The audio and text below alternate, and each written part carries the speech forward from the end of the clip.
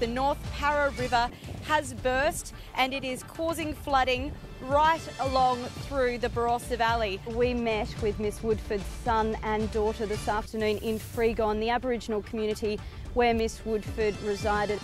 Oh, cucumber, my cucumber die. You see, deep water like that, you can't go inside, you see. Just to give you an idea of how much water is still here, the levels in this channel have only dropped about two centimetres in the last two days. So it could take up to three weeks for this area to completely dry out.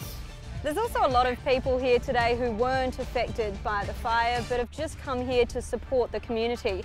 And with all of the funds raised here today going back to the fire relief, I can't think of a better way to spend the afternoon. The South Australian Government still has $50 million on the table for whoever buys the steelworks.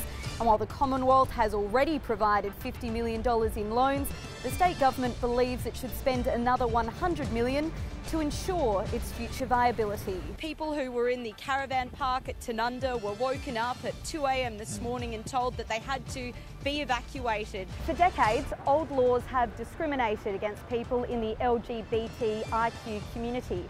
This afternoon, Premier Jay Weatherill followed in the footsteps of Victoria and said sorry for the pain and suffering that has caused. The closure of Alinta Energy's mine at Leigh Creek has been known for some months now, but the future of many residents here remains unclear. If this site is chosen, the facility would take up about 100 hectares of this 25,000 hectare property. The federal government is expected to make a final decision at the end of the year.